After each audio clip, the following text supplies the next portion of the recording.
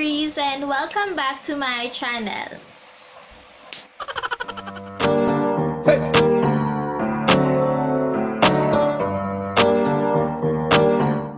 So for today's video, sobrang excited ako sa gagawin natin ngayon. Kasi gagawa tayo ng isang Halloween makeup tutorial na hindi ko pa nagagawa ever since. So, first time kong gagawa ng Halloween makeup and sana magawa ko. So, bago ako nag-start, ayan, nakita nyo na. Nag-try ako sa kamay ko kung magagawa ko yung sugat effect. And, ayun, medyo mukha naman siyang totoo. Hindi ko alam kung bakit parang sa camera, parang fake na fake siya. Pero pagdating sa personal, mukha siyang totoo. Ito yung gagawin ko sa mukha ko ngayon. Magta-try ako na maglagay ng sugat. So, ito yung easy Halloween makeup tutorial lang. So, ayan, nag-makeup na ako. Um, yun naisip ko kasing gawin kasi nga easy lang na Halloween makeup tutorial lang tayo. So, ayun, glam makeup lang tapos may sugat-sugat eh, may sugat-sugat effect lang. Ano ba yan? Sobrang bulol ko. Sa leg ko, naglagay ako ng glue. Kaya medyo ganyan yung itsura ng leg ko. So, yun, let's get started. So, wala ako nabiling paint, color paint. Gagamitin ko na lang kung ano yung meron ako dito. Pero aside sa color paint, kung may color paint kayo, mas maganda yon Pero kung wala, um, gumamit na lang kayo nung katulad ng mga gagamitin ko. Tapos, kailangan nyo din ng glue. So, yon mag-start muna tayo sa glue. Uh, maglalagay ako ng glue sa face ko.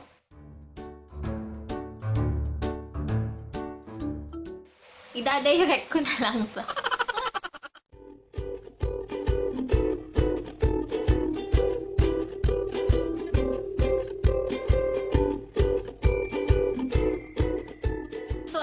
naglagay lang ako ng glue sa face ko and parang kalmot lang yung gagawin natin. And, ayan, matagal matuyo to. So, hindi ko alam kung saan ko na ilagay yung blower ko kaya hindi ko ma-blower.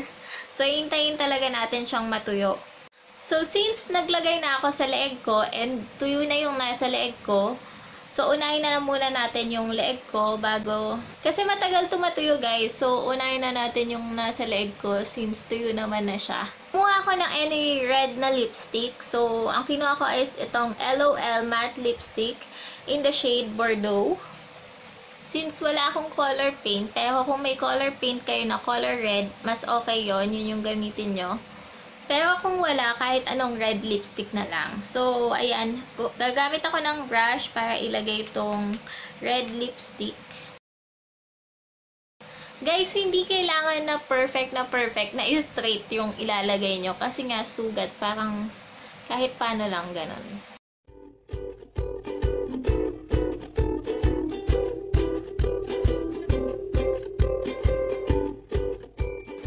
nakapaglagay na ako ng red lipstick dito sa leeg ko.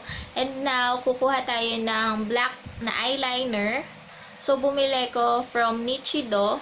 Kahit anong black eyeliner lang. Or pwede ding eyeshadow kung wala. Susulatan ko lang yung pinakagitna niya. Lalagyan ko yung pinakagitna.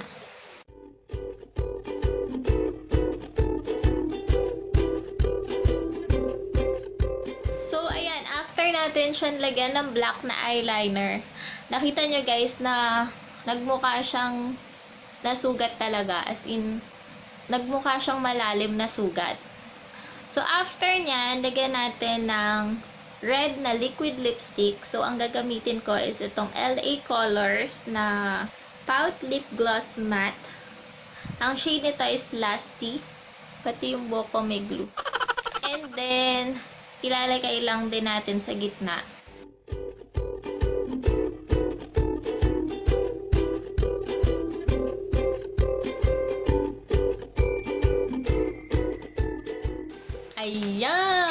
Mukha na talagang sugat.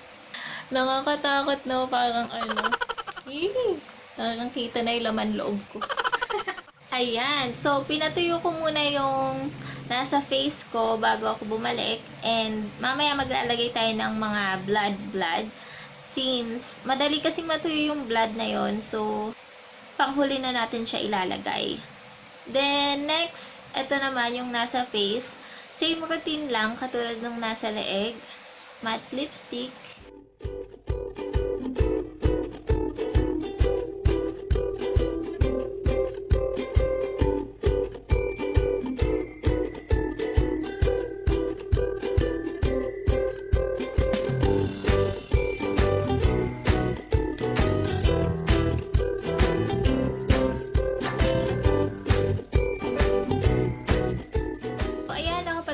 Ako ng matte lipstick dito sa face ko.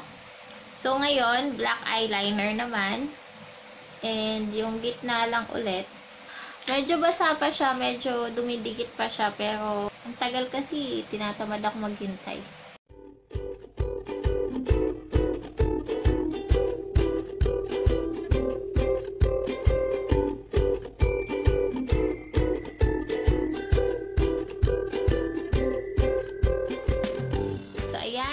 Black na eyeliner na sa sugat natin. And by the way guys, naglagay ako ng glue dito sa um, lip area ko dito sa ibabaw. Para mamaya lalagyan, lalagyan din natin ng sugat yan. So, ito naman ngayon yung matte lipstick.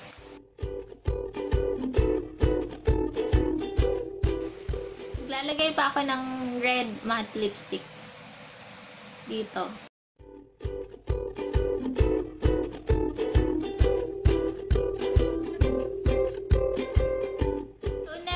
Namang sa lip area ko. Gagamit muna ako ng brown na eyeshadow.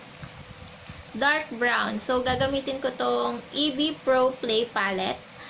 And ito yung kukuhan kong shade. And lalagyan ko lang tong nilagyan ko ng blue.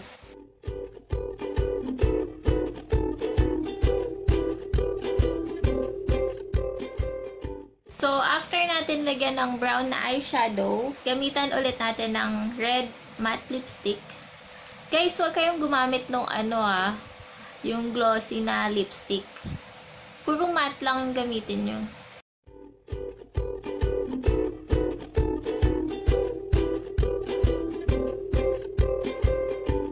Then next, black na eyeliner ulit.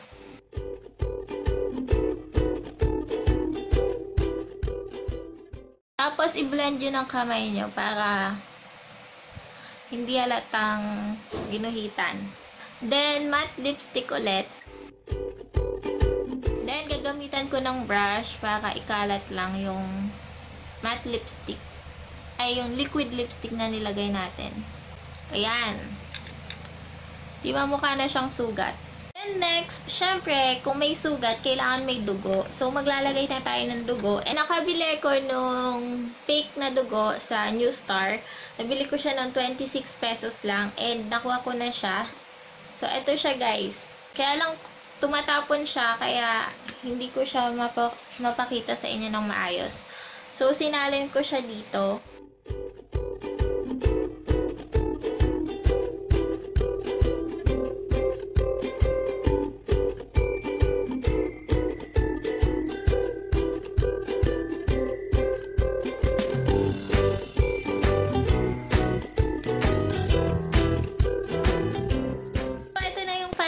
Natin. Hindi ko alam kung na-aksidente ba or nakipaglaban tayo sa zombie kasi may mga kalmot-kalmot yung mukha natin. So, hindi pa pala tayo tapos. Maglagay tayo ng mga brown-brown pa.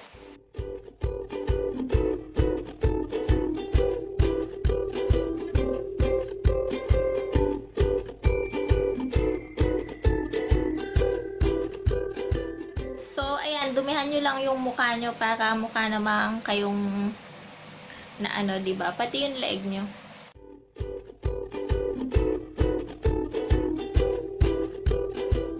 Tapos yung kamay nyo din, don't forget. So, ayan, tapos na yung Halloween makeup tutorial natin. And kung nakatulong sa inyo tong makeup tutorial na to, please like this video and please subscribe to my channel for more videos. Yun lang guys. Thank you guys for watching. Hope to see you on my next one. Bye!